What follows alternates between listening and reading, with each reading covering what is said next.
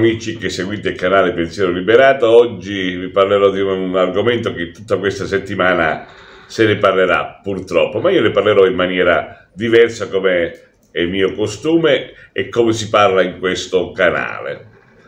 Oggi vi, vi racconterò la vera storia del eh, Casino di Sanremo, quindi del festival, mettendo in relazione dei personaggi Eugenio Scalfari, Italo Calvino e Vittorio De Sica.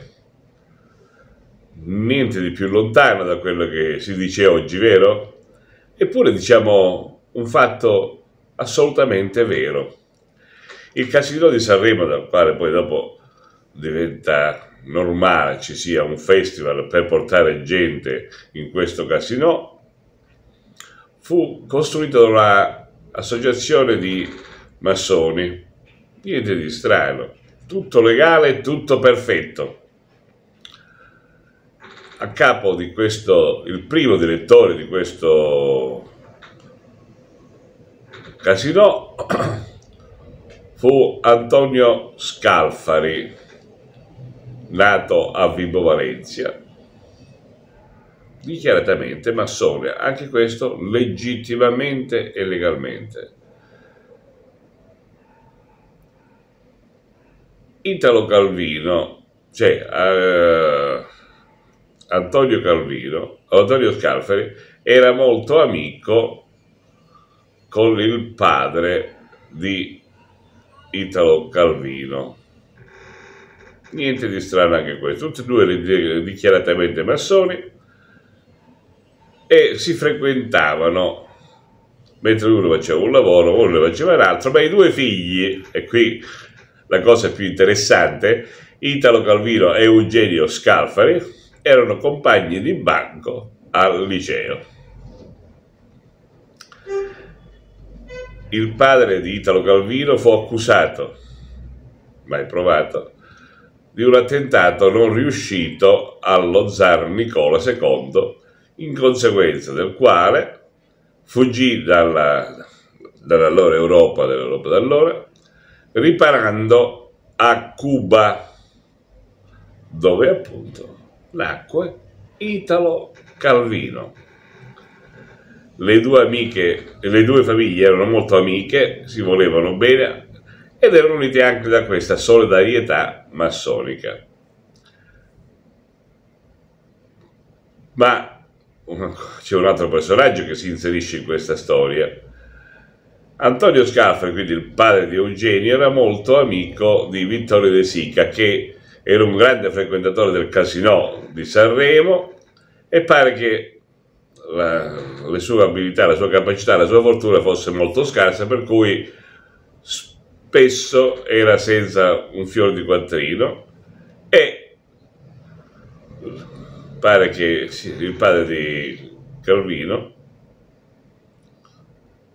lo aiutasse a, anche il padre di Scalfari, a di essere risolti materialmente per tornare a casa, pare. A quel punto però,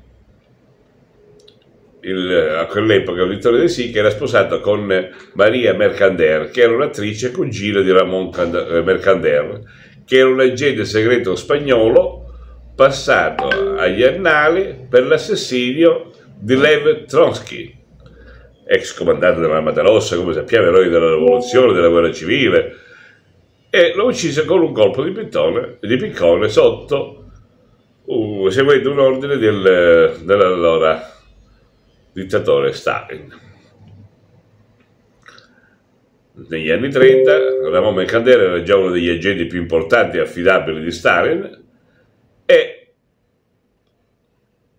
come si suol dire, era lo zio di Christian De Sica e quindi era uno del, lo zio di Christian De Sica era uno dei, degli agenti più importanti e affidabili di Stalin, questo dicono gli annali.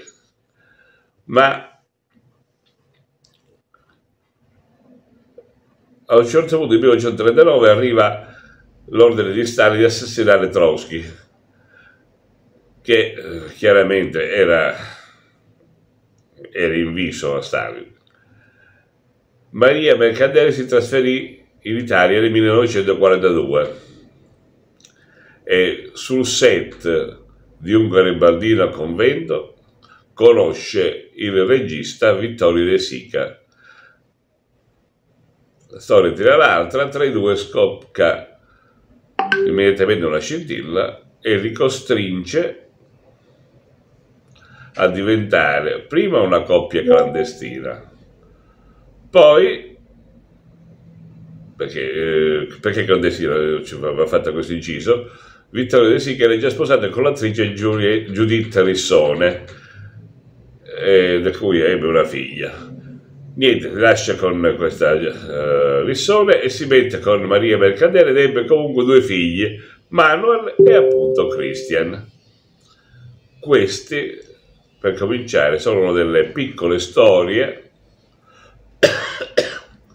a latere alla grande kermesse che forse mai nessuno vi racconterà. Buona giornata.